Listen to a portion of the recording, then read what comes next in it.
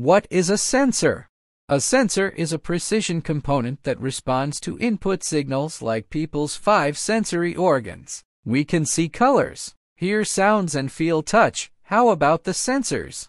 Sensors perceive the environmental information like the eye, ear, nose, skin, and tongue, and they could be more sensitive. As the advancement of technology, sensors are becoming smaller and smarter. This makes them convenient to integrate on more products. There are different types of sensors widely used in the social life. For example, the human induction light uses PIR motion sensor. The indoor air quality meter is equipped with temperature, humidity, and carbon dioxide sensors. There are also sensors to detect chemical parameters. In the kitchen, the alarm detector has combustible gas sensor to monitor natural gas leakage. The air purifier uses formaldehyde and VOC sensor. In addition to the physical and chemical sensors, there are biosensors like DNA sensor and immunosensor. All various sensors construct the core technology of IoT world and lead the way to future smart life.